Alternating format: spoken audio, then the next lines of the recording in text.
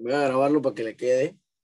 Bien, en la 107, que dice, ayer por simple inflexión el cociente de. El problema 3, igual todos los problemas, le voy a explicar uno parecido. Vamos a decir, ese es el 3, voy a hacer el 4. Tengo el problema 4, por ejemplo, dice 8a al cubo menos 1, perdón, sobre 2a menos 1. Lo mismo que le dije ayer.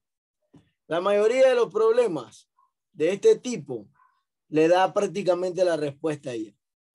Se la da de una vez prácticamente. ¿Ok? Yo le dije ayer que la respuesta prácticamente era esto que está acá abajo, el denominador. Y es verdad, por sin perfección usted puede decir que es el denominador. ¿Por qué? Hace lo mismo que hicimos ayer. Las letras con número las copio juntas. 8 a 3 sobre 2a menos 1 sobre 1 igual. Voy a simplificar o a reducir, como lo quiera ver. 8 y 2 son divisibles, lo puedo simplificar. 8 dividido entre 2 2 dividido entre 2. ¿Cuánto es 8 dividido entre 2? ¿Qué número de la tabla del 2 me da 8? ¿Qué número de la tabla del 2 me da 8? 4. 4, correcto. Entonces 4, aquí. 2 dividido entre 2, ¿qué número dividido entre 2 me da 1? Multiplicado por 2 me da 1. 1. Correcto. 2 por 1 es 2. Entonces aquí me da 1. O sea que ya me quedó 4 arriba. 4.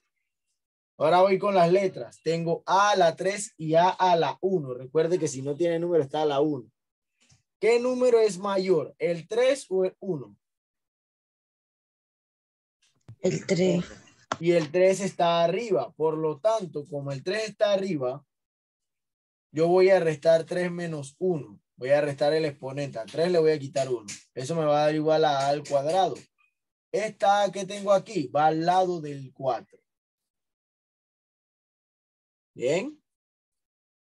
Menos 1 porque 1 entre 1 es 1. Y ahí está el problema. Bien.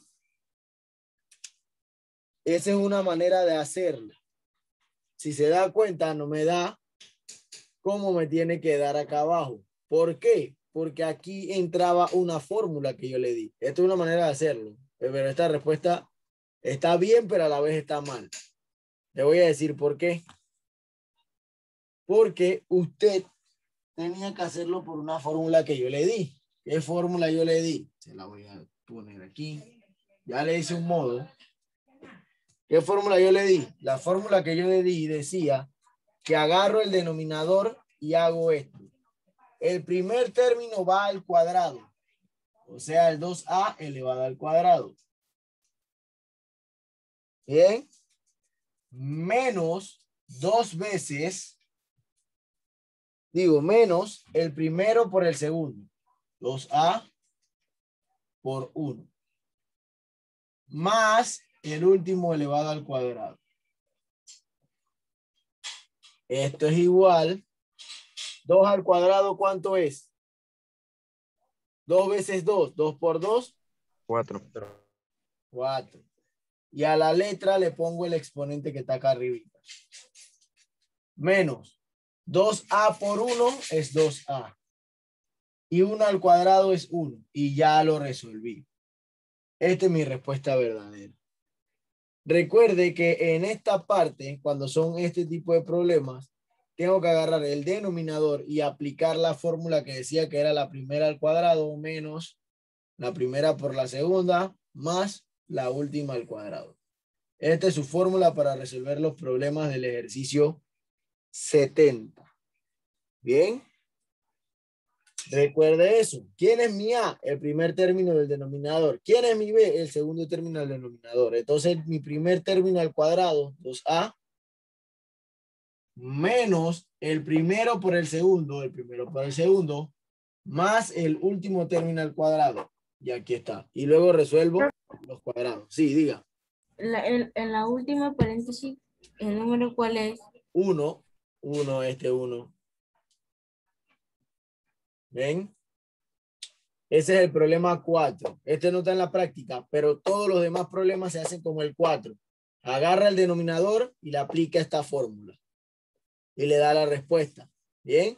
Eso lo hace con el 3, que es mucho más fácil porque nada más son letras. O sea que nada más tiene que suplantar x al cuadrado menos xy más y al cuadrado. Ya, está hecho. Ya los otros, el 5 y el 6, sí tienen número, así que tiene que copiarlo en paréntesis para resolverlo. ¿Ok? Es importante eso. Disculpe, profesor.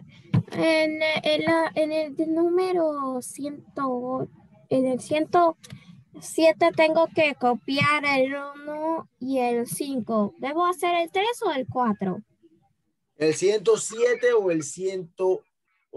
En la página 108. No, 107. En la 107 los problemas eran el 1, el 4 y el 5. Ya, está bien. Gracias. Bien.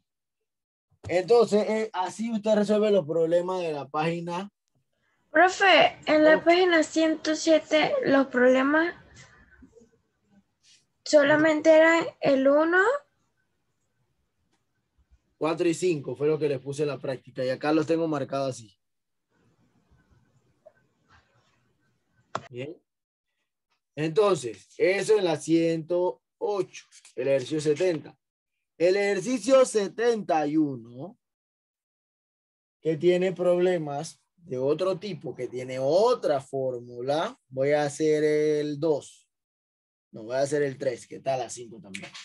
Voy a hacer el problema 3 del ejercicio 100, el ejercicio 71, que está en la página 110. Así, en la 71 y la 72 se hacen de la misma manera. Eso no cambia. 71 y 72 son igualitos. ¿Bien? Igualitos, igualitos.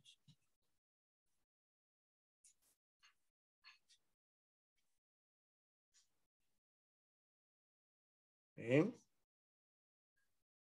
Igualitos, igualitos.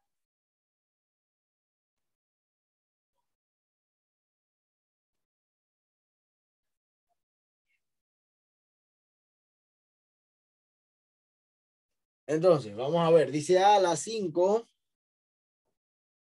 menos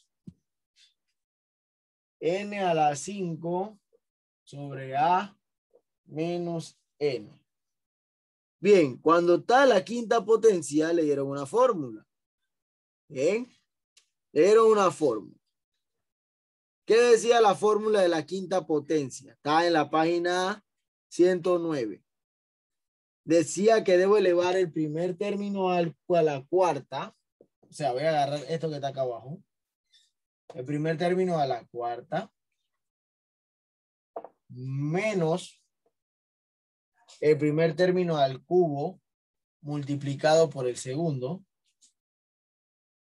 Más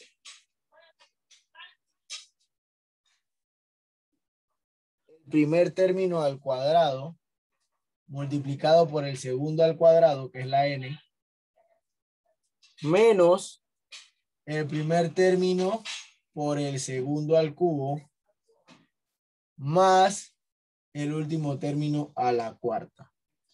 Esa es la fórmula para cuando están elevado a la quinta y a la quinta. Siempre agarra el denominador y lo hace. Voy a dar otro ejemplo con uno más grande. Vamos a decir que está elevado ahora a la... Está por aquí un ejemplo. A la 7. X7 menos Y7 sobre X menos Y. ¿Ok? Igual. Esto que está aquí lo agarro. Siempre que agarro este, si esto está a las 7, el primer término lo, lo voy a poner, pero con un exponente menos. Si a 7 le quito 1, ¿cuánto me da? 6. Entonces, aquí voy a poner X a las 6. Bien. Como es negativo, pongo... Profesor, una pregunta. No entiendo por qué se le quita un número. Porque esa es la fórmula. La fórmula me dice a mí que voy a disminuir un exponente. Si está elevado a la quinta, lo ponga a la cuarta. Si está a la séptima, lo ponga a la sexta. Bien, le voy quitando.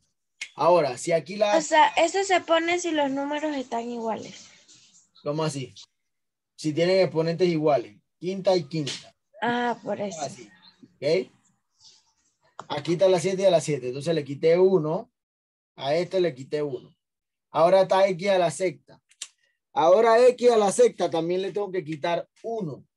Si a la sexta le quito 1, pongo X. Si a 6 le quito 1, ¿cuánto me queda? Si a 6 le quito 1, ¿cuánto me queda? 5. Entonces aquí pongo 5. Y escribo ahora esta letra sin nada. Mire que está igualito. A la 3, a la 4 le quité 1 y luego escribí la letra que es la segunda solita. A 6 le quité. Profesor, o sea que cada vez que vamos resolviendo se le tiene Mire. que quitar otro número. Mire, ajá, mire la letra aquí.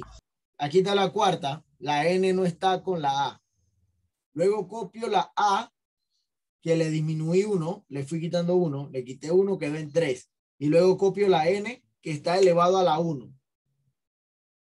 Bien, mire que la A va disminuyendo y la N va a ir aumentando. Presta atención. Ahora la A está, aquí estaba la 3, le quité uno y quedó a la 2. Pero a la N le sumé uno y quedó a la 2. Bien, fue aumentando. Es como si estuviera contando. Con el primer término voy de menor, de mayor a menor. Y con el segundo término voy de, de, de menor a mayor. Voy sumando. Ahora mire, 2, 2. Ahora a la A, si está a la 2, le quito 1. Quedó A a la 1. Y la N que tenía 2, le sumé 1 y quedó a la 3. Ahora, la, la A le quito 1, quedó a la 0. Por eso no aparece aquí al final. Y la N que estaba a la 3, le sumé 1 y quedó a la cuarta. Entonces aquí, si seguimos el mismo orden, si la X está a la quinta, le tengo que quitar 1. Va a quedar a qué número? 5 menos 1. 5 menos 1. 4. Cuatro. Y si la Y está a la 1 y ahora tengo que sumarle 1, 1 más 1, ¿cuánto es? Dos. Dos. 2, y a la 2, más.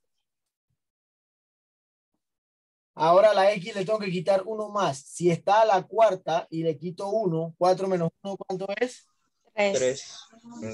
Bien. Y si a Y tengo que sumarle 1, 1 más 1, Dos. 2 más 1, perdón. 2 más 1, Ah, tres. Tres.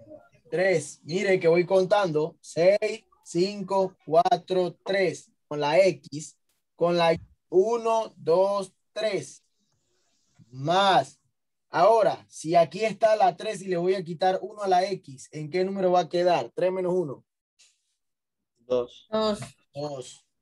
Y la Y, si tengo que sumarle 1, 3 más 1, 4. Cuatro. 4. Y sigo contando. 6, 5, 4, 3, 2 con la X.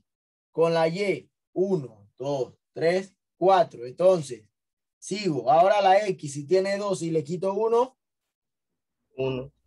X a la 1. Y, si tiene 4 y le voy a sumar 1 al 4, 5. Cinco. correcto.